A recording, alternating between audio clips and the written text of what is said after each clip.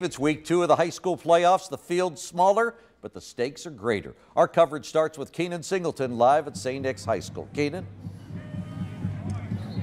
Hey, good evening there, John. Two years ago when Tom Grippa took over the program here at Milford, he dubbed the Eagles a sleeping giant. Now the Eagles tonight face their biggest test to date, undefeated and topped ranked Colerain. Now over in Hamilton, Little Miami has a big test of its own tonight as well.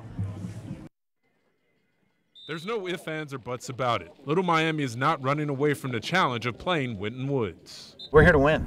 We're here to win. Here practicing in early November as a few outside of this stadium expected the Panthers to be. 1992, the last time they advanced to the postseason. Never the last time they beat Edgewood, which they did a week ago in the first round of the playoffs. After we beat Edgewood, team never beat before, that just I think really put us over the edge in confidence. They'll have to keep that edge against top seeded Winton Woods and one of the top candidates for Mr. Football, running back Mayan Williams. He's going to get his yards, but we're going to make him earn every one. He earned it 431 times a week ago.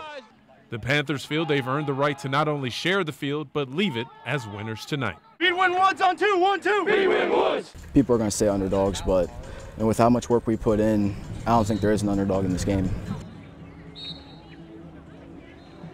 All right, John, one note to add in addition to that little Miami Winton Woods game. Those two programs joined in the Eastern Cincinnati Conference, according to our WCPO high school insider Mike Dyer.